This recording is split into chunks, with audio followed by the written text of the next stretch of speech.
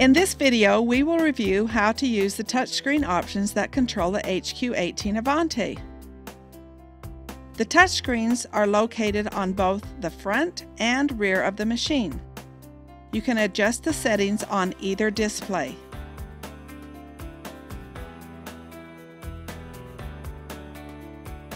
At the top of the screen, you'll see a red indicator light. When you press the start button, you'll see that it goes green. This indicates if it's on or off. There are two types of stitch mode, manual and regulated.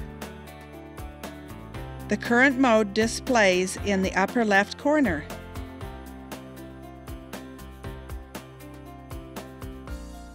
In manual mode, you set the needle speed from 5% to 100%, 100% being the fastest. You can change by using the plus or the minus to increase or decrease. Next is the regulated mode. The display shows stitches per inch rather than a speed percentage.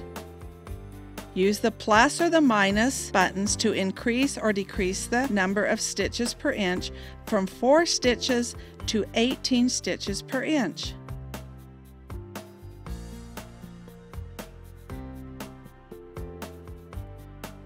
There are two modes of stitch regulation, precision or cruise. In precision, when you press the start button, the needle does not automatically begin stitching. The stitching begins when you move the machine. The stitching stops when you stop moving the machine, even if it's in the middle of a stitch or in the middle of a cycle.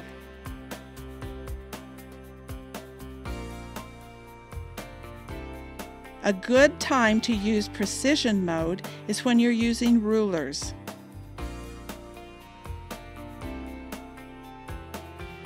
In cruise, use the plus or minus to adjust the speed from 3% to 50%. You're still in stitch regulation, but you can change the needle speed. 3% is a very slow speed. It begins stitching immediately when the start button is pressed and it continues to stitch until you press the stop button.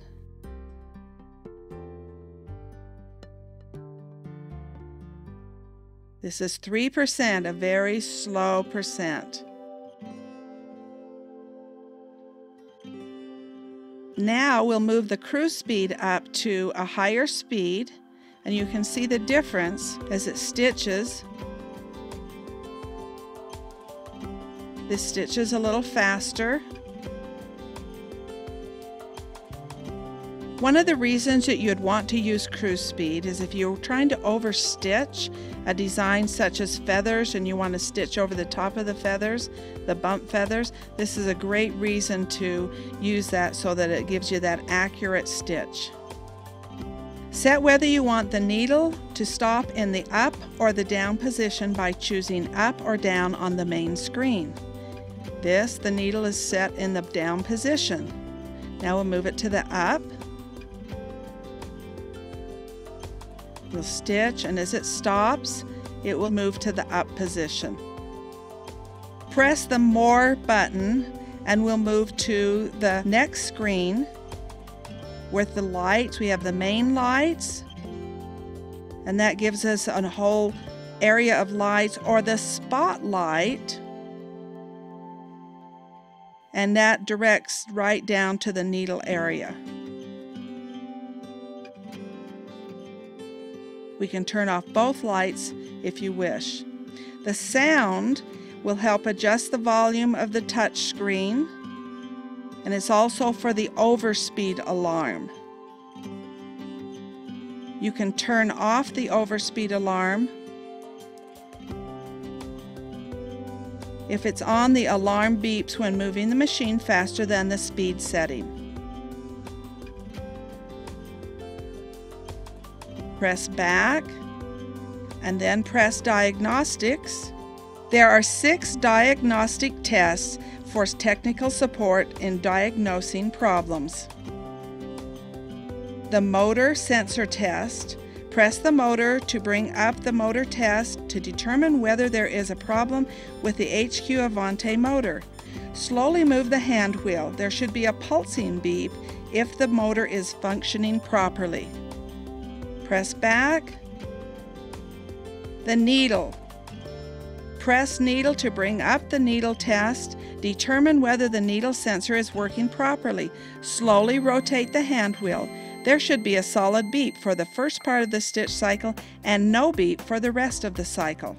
A continuous beep or no beep means the needle sensor has failed and needs to be examined by a qualified Handi Quilter technician.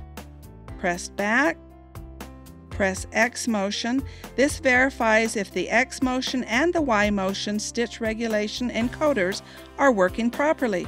The X motion tests the left and right motion of the machine and the Y motion tests the front and back motion of the machine. This is the X motion.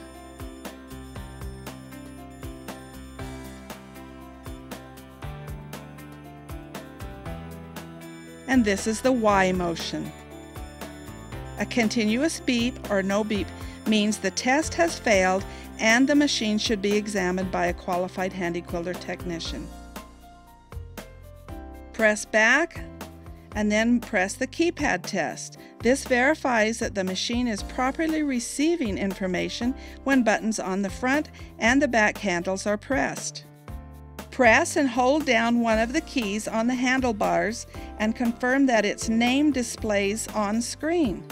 The name disappears when the button is released. The speed test tests the motor speed sensor. Follow the instructions on the screen. Press back. System information gives you the information of the lifetime stitch count, gives you the serial number, the C-Pod firmware number and the handles. Your stitch counter is lifetime and a trip counter, so you can press reset and find out how many stitches you do per quilt. Press back. There's a handy built-in calculator for doing calculations at the machine.